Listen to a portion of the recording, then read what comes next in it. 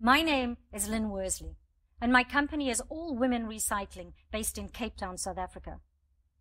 We exist to empower disadvantaged women whilst at the same time having a positive impact on our environment.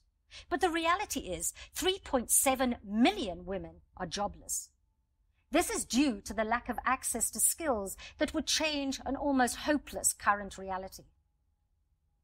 At All Women Recycling, we upcycle recycled plastic bottles, turning them into the unique, versatile gift box, the Clickety Click box.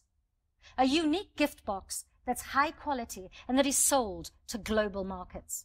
This enables us to empower women from townships in Cape Town with 14 full-time employment positions.